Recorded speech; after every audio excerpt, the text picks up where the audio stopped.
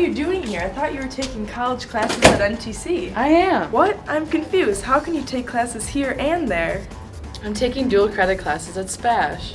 Well, how does that work? I'm taking the class at SPASH with SPASH, SPASH teachers, and the teachers are following the NTC curriculum so that the class can count for both SPASH and NTC credit. Wow, that's a great way to get started on your college classes. Yeah, it gives me a chance to explore all that NTC has to offer while saving me time and money. Money? How do you save money? The class doesn't cost anything.